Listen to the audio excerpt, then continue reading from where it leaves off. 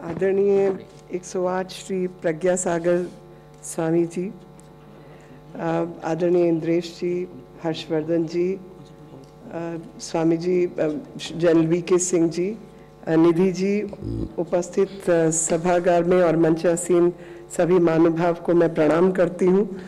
और जब भगवान महावीर की बात हो रही थी तो जहाँ पर जनरल साहब ने बात छोड़ी, उसी बात को आगे बढ़ाते हुए कि कुछ तो बात है कि हस्ती मिट्टी नहीं हमारी, यूँ तो दुश्मन रहा है जमाना सदियों से। तो जिस धर्म के देश को सदियों से दुश्मनी झेलनी पड़ी, हज़ार साल की स्लेवरी भी झेलनी पड़ी तो आज भी हम ज़िंदा हैं और आज भी उन परंपराओं को लेकर आगे बैठे हैं और चल रहे हैं तो कुछ तो काबिलियत होगी हमारे अंदर। और उसी काबिलियत को अगर दूसरी निगाह से देखा जाए तो भगवान महावीर का जन्म तो भगवान बुद्ध से भी पहले का है। और समाज में जो कुरीतियाँ थीं, उन कुरीतियों को समाप्त करने के लिए एक रेफर्मेटिव धर्म था कि जो समाज की बुराइयाँ हैं, उन बुराइयों को सुधारा जाए।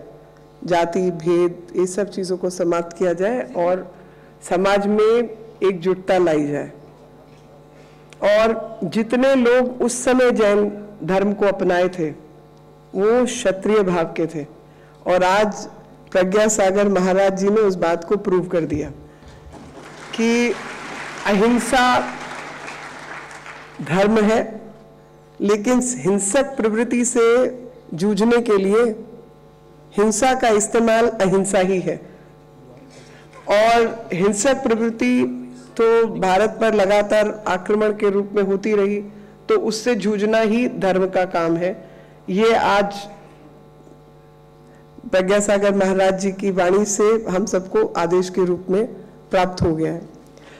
और जब भी जैन धर्म की बात आती है तो मैं तो खैर अज्ञानी हूँ, बहुत ज़्यादा ज्ञान नहीं है, लेकिन दो तीन चीज़ें जो रहती हैं हमारे यहाँ तो उन चीज़ों में चाहे दश लक्षण हो, चाहे क्षमा पर्व हो, जिसमें हम सब लोग बिच्छा में दुखड़म बोलते हैं तो यही व्यक्ति के व्यक्तित्व को बढ़ाने का विषय है कि अगर कोई भी समाज अपनी गलती मान ले और क्षमा का, मांग ले तो फिर कुछ बचता ही नहीं। और क्षमा जो है वो व्यक्ति का, व्यक्ति की आत्मा है। मतलब मनुष्य की अगर मनुष्यता की बात की जाए और पशु व्यवहार से उसको अगर अंतर किया जाए तो क्षमा देना भी एक व्यक्ति के व्यक्तित्व का ही हिस्सा है। और वो मनुष्य व्यक्तित्व का हिस्सा है, वो मनुष्यता का हिस्सा है, वो एक कैरेक्टर का हिस्सा है। तो इसलिए जिस धर्म ने हमको क्षमा मांगने का बड़प्पन दिया और क्षमा करने का भी बड़प्पन दिया, वो जैन धर्म है और वही असली अहिंसा है।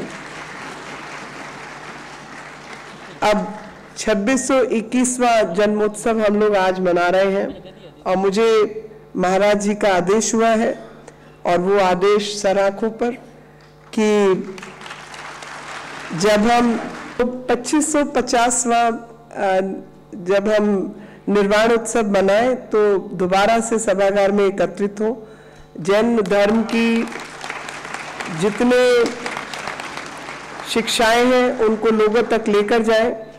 जैन धर्म के विषय को लोगों तक लेकर जाए, मेरी उसमें कई बार बातचीत भी हुई। प्राकृत भाषा उस समय संस्कृत से पूर्व की भाषा थी और जितने भी अशोक के चाहे स्तंभ है या बाकी हैं, बाकी बहुत सारे हमारे स्क्रिप्चर्स हैं, बौद्ध धर्म के, जैन धर्म के भारतीय बेसिकली भारतीयता के, वो सब प्राकृत में है और प्राकृत और ये दिल्ली यूनिवर्सिटी में पढ़ाया जा रहा है, लेकिन इस भाषा का प्रचलन हो और हमारे ही घरों के कुछ बच्चे भाषा सीख सकें तो बहुत अच्छी बात होगी। मतलब मैं तो चाहती हूँ कि हर भारतीय दुनिया की सभी भाषाएँ सीखे और भारत के अंदर, क्योंकि ज्ञानवर्धन तो अब हमारी लाइब्रेरी चली गई तो उसके साथ बहुत सारा ज्ञान संवर्धन भी चला गया। लेकिन अन्य भाषाओं में अन्य जगहों पर वो दूसरी भाषाओं में रेफरेंसेस हैं। तो अगर भाषा सीखना तो अपने आप में बहुत ही स- अच्छा काम है तो सबके सब लोग अपने बच्चों को भी ये संस्कार डालें। तो निर्वाण उत्सव तो हम सौ प्रतिशत मनाएँगे और अ,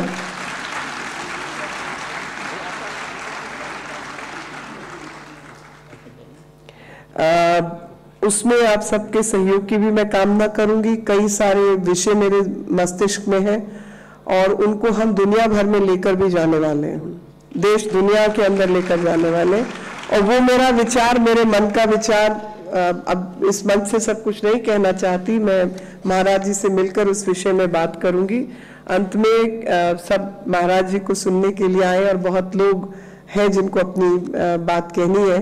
तो सिर्फ़ एक प्रार्थना के साथ एक स्तुति के साथ जो आप ही की किताब में भी है नमा श्री वर्धमानाय निर्घूत कालिलात्मने श्लोकानाम त्रिलोकानाम यदि विद्याम दर्पणाएते तो आ, यही ईश्वर से प्रार्थना है कि वर्धमान स्वामी महाराज जी को प्रणाम उनकी आदर्शों पर हम चल सके मानवता का भला कर सके दुनिया को त्रिलोक को संपूर्ण शक्ति से परिपूर्ण करें और यही विद्या हमको प्राप्त होती रहे ताकि देश दुनिया में सब कुछ बैलेंस रहे और जिस सस्टेनेबल डेवलपमेंट गोल्स की बात दुनिया करती है वो हज़ारों वर्ष पूर्व हमारे गुरु हमको सिखा कर गए हैं उनके दिखाए हुए रास्ते पर हम लोग चलें और देश दुनिया को संवर्धन कर सकें। जय हिंद जय भारत।